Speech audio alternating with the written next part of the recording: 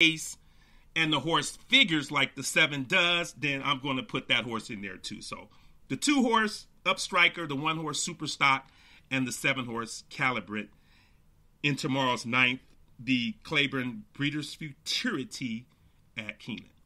So closing out the pick five tomorrow is the Grade One Shadwell, one of my favorite races of the year because they always seems like always draw large fields, especially when the races run on a firm turf course. You have a lot of possibilities here, a lot to unpack when you when you're trying to handicap here, and you get a lot of horses. And and for me, I can just say that a lot of turf horses in turf races, I look for horses who are not who, who ran poorly or evenly, but were well bet. And I'm and I and I think those horses very very dangerous. So I'm using five horses in this race in the closeout leg. And I'll try to go through them quickly because I don't want to keep you, you all a long time. I've already been on there 15 minutes too long. So let me try to get through this as quick as possible. Let's start with the six horse Raging Bull. Now, Chad Brown has four in here. I'm not going to choose all the four Chad Brown horses. I don't play like that. I don't think all his horses horses going to run, you know, finish out the superfecta. I don't think like that. But I do like two of them in here.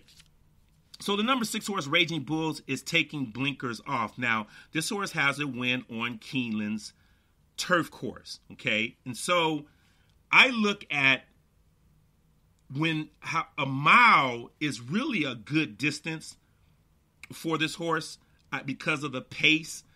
Usually, if you when you look at the running lines on Raging Bull, he's far back a lot. So taking blinkers off might keep him a little further back. And in that case, you would hope that there's some speed in the race. And there is a little speed in the race. Obviously, the two horse Halladay. But I'm gonna put Raging Bull on top because of the, the the, equipment change, the blinkers off. The horse does have a good uh, good Keeneland form. And it's to say, it's a Chad Brown, Joel Rosario. So I think this horse will b- bounce back. The horse was favored over the two horse uh, Halladay at Saratoga last time on the tight inner course. So I think this more uh, more flat, more wider course at Keeneland will help the six horse Raging Bull. My second choice in the race is the number three horse without parole. Now this is another Chad Brown horse. Now this horse was also in the Grade One Fourstardave. The horse was six. He, uh, he was six to one. I read with half the horse pretty wide that day. Could not, you know, could not uh, uh, maneuver out a, a, plan to get to the wire to get any run into him that day. So I was just going to throw that race out. The horse in the Shoemaker Mile and the Maker's Mark Mile at Keeneland earlier this year, where he was two to one in both races and ran creditably only missed by three quarters of a length here at Keeneland, and then also in the Shoemaker Mile, the flat mile at Santa Anita, just missed by two lengths, where the horse was really, really bad, actually favored over Raging Bull. So without parole, with Julien Leparoux, uh, as we know, is, a, is an outstanding turf rider, good post position in the three holes, should be able to save some ground and come running home late. I also like the nine horse Parlor. This is a horse who's also raced in the Maker's Mile at Keeneland here earlier. Now, long odds, missed by nose, but was on the lead. So I think that trainer Mike Maker will tell uh, Umberto to put this horse a little closer, like he ran last time at Keeneland, unlike the race at that backyard of a metal track of this called Kentucky Downs, where he was never really in it, but was the favorite in a high priced uh, stake race.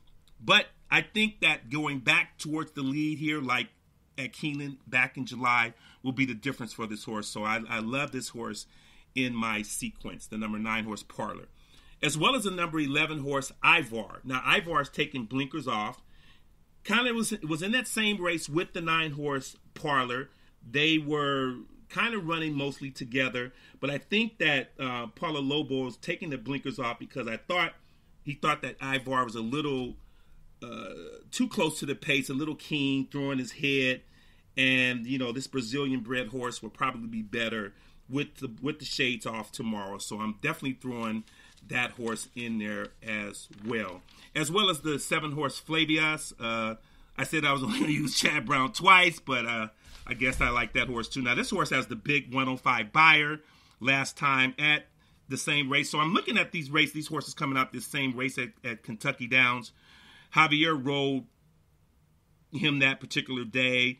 Uh, Ricardo gets on this horse. Now, Ricardo's not known as not known as a, a, a, an outstanding or a good turf rider. There's obviously other turf riders that you would look to first, but Chad's given him a chance here. And like I said, coming off the big 105 Beyer, let's see what Ricardo can do with this horse. And I know he's going to be hustling hard for Chad Brown because he already has Steve, and now if he can if he can show Chad Brown some of his talent, then he can start getting some of Chad Brown's stock on the turf, and that would really, you know, up his ante when it comes to you know his status in the jockeys colony. So yeah, I, I like the seven horse Flavius. So to recap, the six horse Raging Bull on top, the three without parole, the seven Flavius, the nine Parlor, and the eleven Ivar. Five horse sequence in the closing leg of the pick five. $90 if my calculations are right. So let's see what we go with there. Hopefully, uh, you will play this. Good luck to you if you have to put, uh, get in there with some friends, cut down the price a little bit. But um, this is what I like, and I will get back to you next week on Thoroughbred Ticket to see just how I did. So good luck at Keeneland tomorrow, and enjoy the races. This is Kenneth Moultrie, Moultrie and you take care.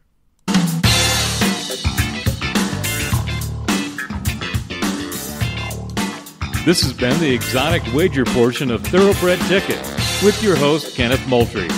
Please tune in again next time and especially share if this show gave you a pick four, five, or six that catapulted you to having a great day at the track.